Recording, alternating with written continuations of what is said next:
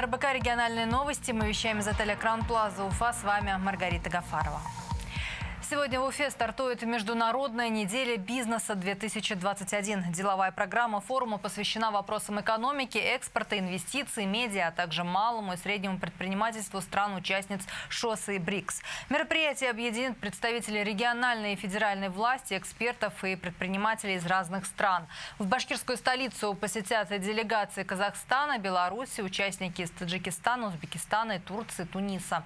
В рамках форума состоится церемония вручения премии премии ТЭФИ «Капитал», награждение победителей конкурсов «Экспортер года» и «100 лучших товаров России», торжественное открытие индустриального парка «Уфимский» и юбилейное заседание Инвестиционного комитета республики. В Башкортостане в ближайшие два года планируется увеличить размер гарантийного фонда до 2 миллиардов рублей. Об этом сообщил директор агентства по развитию МСП Марсель Кашаев. Объем гарантийного капитала в 626 миллионов рублей позволил предпринимателям республики получить кредиты на сумму более 3 миллиардов. Годом ранее средства фонда в 600 миллионов рублей позволили МСП привлечь всего 2 миллиарда заемных средств. Преимущественно предприниматели вкладывают взятые кредиты в недвижимость, пополнение оборотных средств и рефинансирование действующих суд. Естественно, увеличение и декапитализация размера гарантийного капитала позволит, естественно, увеличить и в конечном итоге а, размер заемных средств, что положительным уже мультипликативным эффектом для экономики республики а, послужит достижению этого показателя. Постепенно мы увеличиваем его за счет текущей деятельности, а, за счет тех платежей, которые заемщик платит. И второй источник его декапитализации – это, естественно, бюджет Республики Башкортостан. За год в республике доля кредитов, выданных предпринимателям с привлечением поручительства гарантийного фонда, выросла в три раза. Лидером стала Уфа. В столице предприниматели привлекли более 2 миллиардов рублей. Далее идут Туймазы, Нефтекамск и Стерлитамак. Наиболее активно этой меры поддержки пользовались представители ритейла, химпрома, машиностроения и сельского хозяйства. Жители Башкортостана стали более экономными этой весной по сравнению с началом текущего года. Ежемесячные траты обычной семьи сократились на 13% до 17,5 тысяч рублей в расчете на одного человека. Результаты исследования приводят аналитики финэкспертизы. При этом денежные доходы на человека выросли на 5%. Республика оказалась на шестом месте среди регионов с максимальным сокращением семейных расходов. Больше всего свои траты урезали жители Курской области на 17,5% до 17 тысяч рублей, Ненецкого автономного округа на 16,5% до 25,5 тысяч рублей и Сахалинской области на 15% до 24 тысяч. В целом по стране в 2021 году напротив наблюдается рост расходов семей. Люди стали активнее тратить не только свои текущие доходы, но и накопившиеся за ковидный период сбережения – Кроме того, большое влияние на потребительскую активность россиян оказали кредитование и инфляционные ожидания. На фоне подорожания товаров люди стремятся больше покупать дорогих товаров прок, таких как бытовая техника и гаджеты. Причем молодые семьи в возрасте до 35 лет наращивали свои расходы быстрее. Больше всего денег они тратят на продукты и безалкогольные допитки, примерно 40% всех расходов или до 10 тысяч рублей.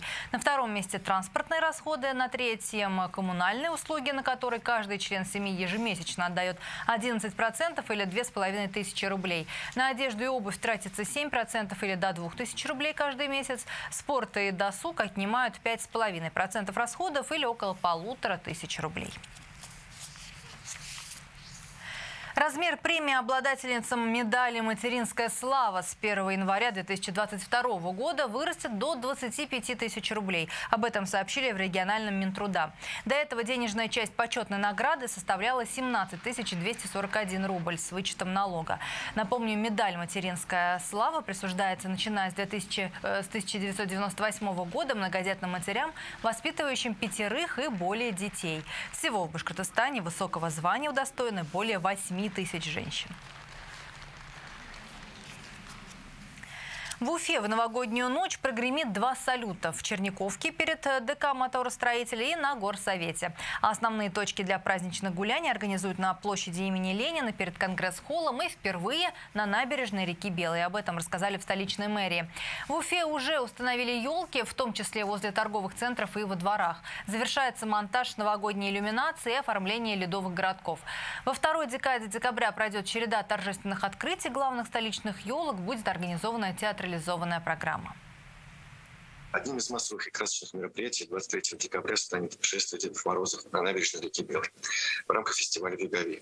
В смотре конкурса примут участие команды из семи районов города. В новогодние каникулы все учреждения культуры будут работать, организуя для жителей ряд тематических мероприятий как в офлайн формате, так и в онлайн. По аналогии с прошлым годом администрации главы Республики Башкортостан утвержден перечень тематических дней, таких как День подарков, День поздравлений, День карнавала,